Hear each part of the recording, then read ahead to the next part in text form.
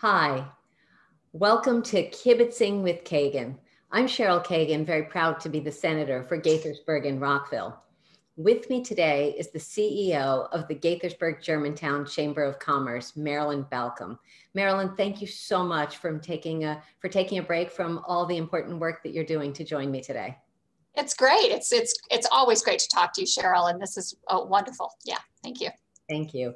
So you have, I want to start with your background, then I want to talk about some of your past, some of your present, and then some of your possible future. So from your past, uh, you've had a wonderfully diverse background with organizational psychology in the arts, uh, as well as in business. You've been at the Chamber now for 15 years. Why don't you tell us a little bit about the path that got you to your current job? Uh, sure. I, I, the way I like to put it is like I just can't hold down a job, right? So I hop around. Uh, I started as an accountant long time ago. Uh, I did a very short period as a mental health counselor, and then I got my degree, uh, my doctorate in organizational psychology, and I worked at the Department of Energy for a very long time. Uh, what got me into community-based work was I found myself spend going downtown every day to work and spending the evenings and the weekends doing volunteer work for my community. And I decided to make a change. I wanted to do community community-based work. And um, I'm very fortunate to have worked with BlackRock. I worked for the county for a short period of time at the Up County Regional Services Center. And now I'm here at the Chamber and um, 15 years, I can't believe it's been that long. Uh, and I love it. I love the fact that I, the work I do is for my community every day. I love that. So I think we first met when you were at BlackRock and oh great amenity that is for the Up County and for the whole county. Uh, why don't you do a, a 30 second commercial on BlackRock before we come? Yeah, BlackRock is so fabulous. So it's a um, performing arts center, education and gallery space, a, a renowned gallery space. And uh, so there's something for everyone. The way I like to put it is it's a professional art center in our community, and they're going strong throughout uh, the pandemic. Uh, they have really wonderful classes, and if you haven't been there, you should check it out. So definitely, I I I agree, and they have a wonderful new director who's an old uh, pro, uh, buddy of mine from the nonprofit. Yeah. So, and the architecture is gorgeous. So definitely. And right. Lynn Arndt's doing a fabulous job. And if you've never even been there, just walk in there. You will be astounded. Definitely. All right. So the reason you're here is because of the the chamber. So over the 15 years that you've been at the helm, talk about some of the priorities, some of the accomplishments, and uh, and some of the ways it's changed over that period of time.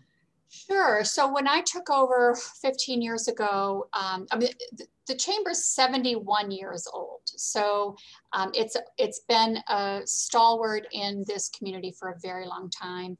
Uh, merged with Germantown uh, 20 years ago. So um, the focus had been on local business and local uh, shopping, shopping local and working with small businesses. Mm-hmm. Uh, how we've changed through the years is that we really have a seat at the table in our legislative program. And so we really, so much of what happens in Rockville and in Annapolis impacts our business community. Mm-hmm. And we've stepped into that space in a very strong way. I think uh, also, not only from a legislative perspective, but uh, transportation, land use, zoning, master plans. Uh, we're right in that right now. Right now, we're looking at the Lakeforest master plan. Mm-hmm. Um, that's a very interesting, very integral to, to our community right now. So, um, so I think that's the biggest change. Uh, the thing that remains the same is that we are a local hometown chamber and we we've managed to keep that focus on our members. So let's talk about your membership. What would be some of the reasons why someone would join the Gaithersburg Germantown Chamber? Yeah, so all businesses join for a, a number of reasons. And so small businesses, the, their primary reason is they want to they want new new business. So they want referrals, and we give them the opportunity to meet with other businesses, to meet with potential customers, to meet with uh, the community, and to get more business. It's the at the end of the day, they want to increase the value of their business. Our job is to give them the opportunities to do that. So we focus on, on that. That's where our networking comes in. That's our bread and butter. Absolutely. We also, from a small business perspective, um, you, every small business needs a bank, needs an accountant, needs paper, needs to buy supplies, needs um, all these services. So look around the room. You're going to find your accountant. You're going to find your attorney. You're going to find the person that that uh, can bring deliver your your paper. So uh, it's resources for businesses. Um, and then also from a legislative perspective, and particularly during this crisis, we have come into our own. We've we've been we've provided so much value for our members just in communication, just mm-hmm. letting them know what's going on. Um, and so I think there are lots of reasons. Um, yeah. Good. Uh, and they get to work with you and your fabulous staff and learn from you. So that's a good thing. So, as someone, as the person who fancies herself as the senator for the nonprofit sector, uh, the chamber also welcomes nonprofit membership. Uh, talk about what segment of your membership that is and how what similar services you offer and what different opportunities, if any, for the nonprofits yeah, so we we consider nonprofit as a tax status. Our nonprofits are still businesses. Love they it. still have to buy buy services, sell their product, get get board members, get donations. At the end of the day, they've got a, they've got a they've got a bottom line, mm-hmm. and and so we help them do that. We're the only chamber that offers a nonprofit rate we mm-hmm. think it's important to give back to our community, and so we encourage nonprofits to join the chamber. Uh, we do an annual nonprofit showcase at Smokey Glen every year, and it's such a great event. Uh, it's our it's actually our biggest networking event, and we allow our um, nonprofits to come get a, a table, a booth, um, to show off their wares, and with the idea of to educate the community to get donations, to get donors, to get board members, and, and we love that. Do you have the date scheduled yet for 2021 or is that TBD? We do not. Um, it'll, it'll be in the fall if assuming that we're 100 people are going to meet somewhere, it'll be in the fall.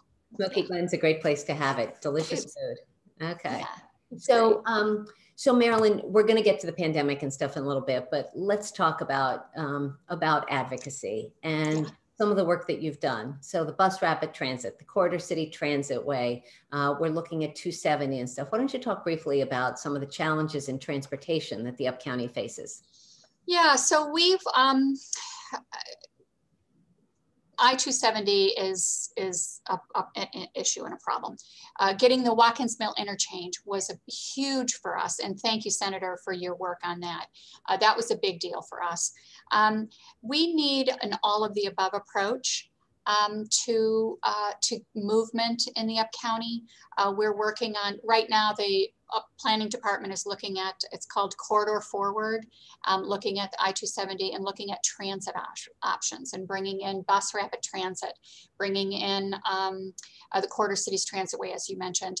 And for the first time ever, uh, we've heard them talking about WMATA Metro uh, to Gaithersburg and Germantown that's a long-term strategy, but it's the first time that I've heard them publicly state that they should look at it. So that's one of the alternatives that they would hopefully be looking at. Have you um, done, done, any um, inspection or learning about sharing about monorail?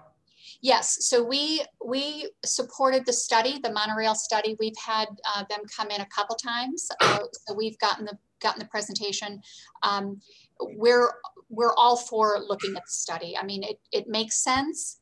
Uh, of course, just because it looks good on paper doesn't mean that it will actually work. But yes, we support the study of that. Yeah. And also MARC, MARC train, the MARC train system is crucial. We already have heavy rail in Germantown and Gaithersburg.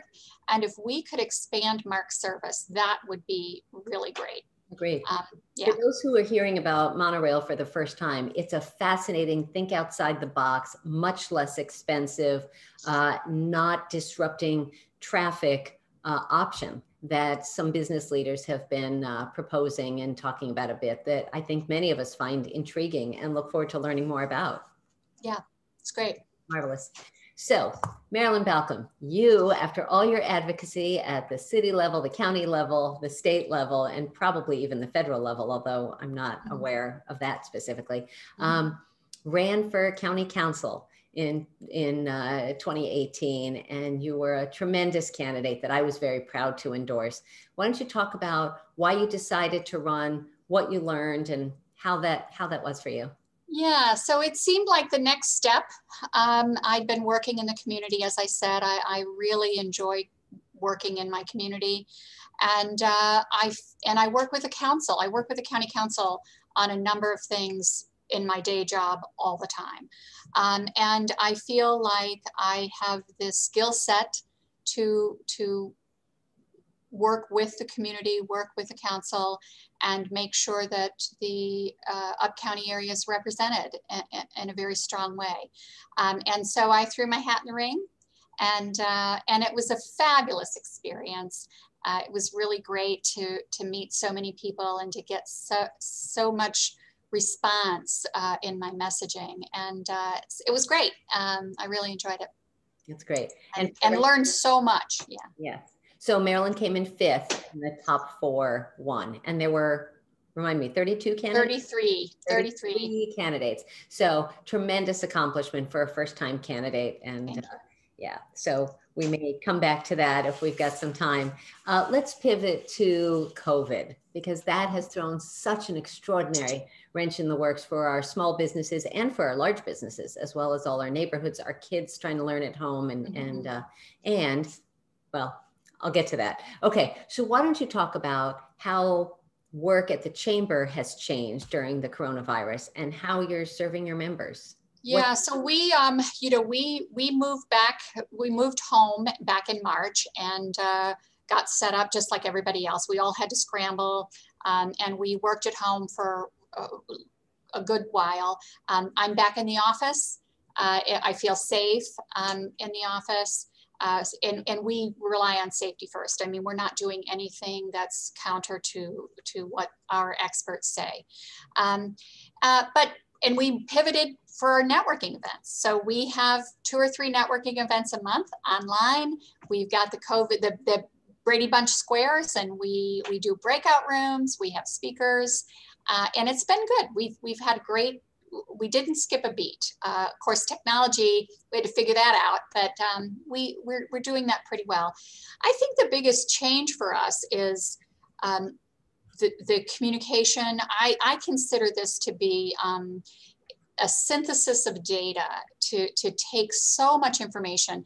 It's not as if there's not information out there it's overwhelming the amount of information. Yeah. And so on a daily basis, we synthesize data and send that out to our members in meaningful small bites, um, particularly the grant funding yep. to try to help our members get funding. Um, it's so very complicated and our members are really in need of just somebody to hand, hold their hand. I mean, there have been many times that I've been on the phone with someone as they're filling out their application, helping them fill it out. Uh, so that's been very rewarding. That's great. Um, and to be clear, when you say you're back in the office, I just want to clarify for folks watching that it's not your entire staff; that it was no. one person at a time rotating, and now. Yeah. So so we we were rotating one person at a time coming in, and and just this week, uh, we now have two people in at a time. Uh, we're in our own offices, doors shut. As soon as we walk out of the office, we have our masks on. Um, we uh, and and we have a whole routine of sanitizing. Um, so we're we're being very safe. Great. Yeah. So while we're on the topic of the coronavirus, one of the aspects of my district that makes me so infinitely proud is Gaithersburg and Rockville are part of the home of our high tech biotech corridor. And we may have from Novavax and AstraZeneca, two of the next, next vaccines. So, can you talk about how the Chamber engages with uh, some of the tech and biotech businesses, bioscience businesses? Yeah, we are the tech corridor, certainly I 270 tech corridor. And uh, we work, we, we have members throughout the tech, uh, biotech. AstraZeneca is one of our members. Early on, we had a program where they came on and talked about the vaccine as it was being, uh, as it was going through their studies. Is that um, publicly available? Is that something that non-members could watch, or is that really only? Uh, I, th I, I think it is. Yeah, um, I would have to check with uh, okay. with but yes, we recorded it and it's it's available. Um, of course, so much has happened since then. That's the thing about um, every day there's new information. Right. Uh, but we, our biotechs are our members. Um, and we work with them just like we work with others. One of the issues with biotech firms is workforce development. That's a space that we, that, that's part of our agenda item. We need to make sure that from MCPS to Montgomery College, to uh, Johns Hopkins, um, and, and making, and universities at Shady Grove, what an asset we have in the universities at Shady Grove. So we, we feel that workforce development is a major uh, player in terms of, of our economy, our local economy. I'm so glad you talked about USG, Universities at Shady Grove. There are a shocking number of people who still don't know about it. So yeah. I describe it as bringing the best and brightest uh, professors, the best classes and stuff from around the state, from other university uh, hubs, and bringing them to Montgomery County. So you don't have to drive to the University of Maryland at Eastern Shore to learn about hotel management and hospitality, and you don't have to uh, drive to UMBC for you know for a business class or whatever. So it's um, it's terrific. It's a great option, yeah. Yeah. And they're and they're they're a member and uh, very community minded. Yeah. That's great. So let's talk for a bit, if you would, as the session has begun uh, in Annapolis. What are some of the chamber's priorities in Annapolis? If you had a magic wand, what would you have us accomplish this year? And do you work closely with the county and state chambers on your advocacy efforts? Uh, yeah. So to answer your first, your second question first, um, we the the the local chambers and the Montgomery County Chamber work work very closely throughout the session um, during during the session, and um, also with the Maryland Chamber. I I sit on their legislative committee as the representative from for Montgomery County. Uh, we rotate, um, and it's my turn, um, and so that's that's that's wonderful because we meet every Monday and go through the various bills. And, and um, so one of the issues, two big issues. One is the this liability issue for employers. That's, that's going to be, that's a national debate. That's a national discussion. Uh, as we start opening up, uh, we need to make sure that employers are not legally liable for COVID in the workplace if if they respond appropriately with, with CDC guidelines. So liability for employers is an issue that we'll, we'll be watching closely. Um, and then the other thing is we, under, we know that the budget is going to, we're going to have problems with the budget. And Senator, you know how difficult it's going to be when you go into the, the, the list of needs is always greater than the, than the pockets of money, right? Mm-hmm. We want to just make sure that, that the business community um, doesn't get, is not overburdened in mm-hmm. terms of additional taxes. Um, because, uh, I mean, we're there all the time saying no new taxes. This year in particular, um, it's the, the burden can't fall on business this year um, so we're gonna we're gonna we're gonna be working with you on that. Right. Obviously, the stop by our offices option won't be there this year. Have you revised your strategy as to how to be an advocate and how to communicate with us? Yeah, I think the biggest thing that we're going to have to do, it, it, the session's going to go fast, I think. And so we're going to have to be just more on top of it than we ever were because uh, as you will have to figure out how it's working, right? So we'll, you know, we'll be calling, we'll be emailing, um, we'll be texting, uh, and posting. Yeah, uh, but I think that I, the biggest change for for me as a as an activist is going to be the schedule yeah. and making sure that we have the most timely information um, and I, I, while I speak for the chamber, I've got a board behind me, so I've got to, I've got to educate them and get their ideas and get their input and, and vote on these things. So it's, it's going to be challenging, um, and we're going to miss, we're going to miss coming down there and, and seeing you all. We're going to miss having you down. It's going to be really odd, but we're all going to do the best we can. The timing question that you mentioned, I just want to amplify and reinforce So in normal life, in real life, and I'm not even talking about pandemic, but in the community, the hey, I've got a question for you. I'll get back to you next week is fine in a 90 day session. And goodness knows if we have health problems and all that, it could be abbreviated again this year. It's kind of, I'll get back to you in an hour, two hours, tomorrow, but it's not longer than that because by that point, we will have voted on it, amended it, passed it, killed it. And so there's an urgency that uh, business leaders, uh, yeah. even nonprofit leaders, aren't always aware of. Right. And we we have some experience with that because the county council is working differently right now. And so they do a public they they introduce something, the next week there's a public hearing and there's a vote right away. So we we're, we're getting used to this faster pace. It's it's insane. It is insane. It is insane. So um, before we go to the uh, Fast Five, um, let's get a glimpse of your future. You've been at the chamber for 15 years. You, uh, we have two new, the voters approved um, a ballot measure to create two additional county council seats. Uh, mm-hmm. You did an extraordinary job and came very close to being elected to the county council last time. Uh, Marilyn, can you give us a glimpse of what 2022 might look like in your life? Yeah, I um, I would love to run again. Uh, I think it would be great. I, I feel like the same um, the same scenario. My, the message is the same. Uh, my skill set is even broader. Um, and so I feel confident in my ability to do the job. That has never wavered. Yeah. Uh, so we have a redistricting commission that will start. Uh, so right now, I while I can be very bold and say yes, I'm going to run. I don't know what what the districts are yet, and so we're all going to wait. We'll, we'll, wait and see what the districts are, and um, all things being equal, uh, I, I assume that I'll run.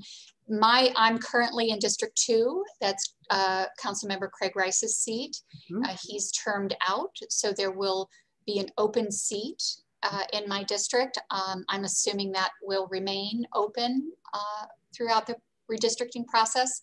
Uh, so yeah, I, I'm going to do it. So to be clear, we have one member of the council of the nine who's a woman and she is term limited. And so yeah. there will be zero men and zero real business leaders and advocates. Sidney Katz has been a small business owner actually, but bringing another perspective and uh, and the up county, another up county voice, uh, really important. So that's Thank great. You. All right, so Marilyn Balcombe, Fast Five here. I'm nervous because I can't imagine what these are going to be, but go ahead. so my staff and interns help me brainstorm on these, so uh, so they're always fun. So first off, um, you are always traveling and doing exciting and fun things, and it's very um, wonderful to follow you on social media and your beautiful daughter Emily. Uh, if what is your favorite city in the world other than Gaithersburg? Um, well, I have to say London, even before the fact that my daughter lives there. Okay. uh, but I love London. London is a fabulous city. It's small enough to get around, and there's so much history and so many things to do. I love London. Great. Um, if you could travel to another decade in the past, where would you choose and why? Or when would you choose and why? Yeah, I would have to go with, you know, the the 20s in Paris, 30s 40s, you know, Paris, Paris before the war. Nice.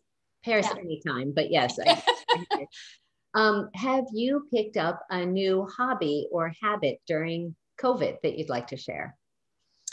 Um, so what I, I am exploring uh, DC.